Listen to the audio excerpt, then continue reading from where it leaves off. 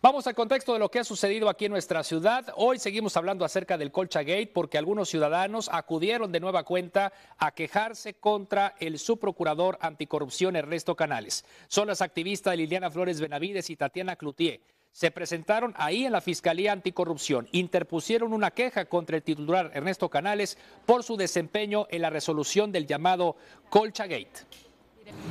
Con este acto de darle carpetazo a las cobijas, están em, prácticamente rebajando la justicia y el Estado de Derecho a un perdón de un delito a cambio de cobijas. Entonces, esto es muy, muy sospechoso.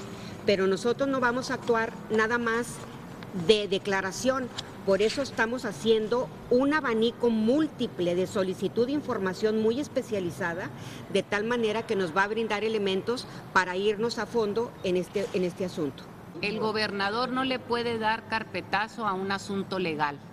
El gobernador no es juez, el gobernador no es fiscal, el gobernador no tiene atribuciones jurídicas para darle carpetazo a nada en este sentido, solamente a las funciones que son de la parte que le corresponden al Ejecutivo. Esto no le corresponde al Ejecutivo, estamos haciendo solicitud de información y si procede una cuestión jurídica, no es él, sino el Poder Judicial el propio procurador quien habrá de actuar.